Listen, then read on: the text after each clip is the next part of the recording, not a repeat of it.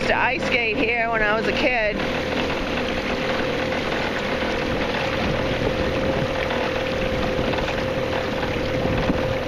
When we...